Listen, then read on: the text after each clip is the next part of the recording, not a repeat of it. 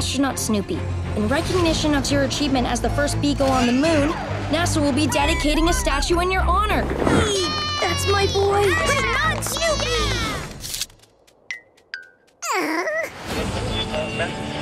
Everyone, think we may have found a signal from intelligent alien life. I've been training my whole life for this. Time to get to work. Ready, ready, ready. Snoopy, do you copy?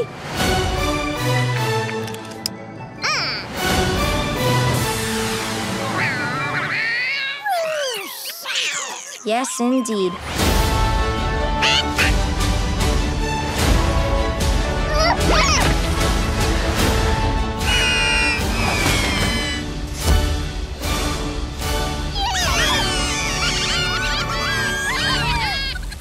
Ah, I'll go get a mop.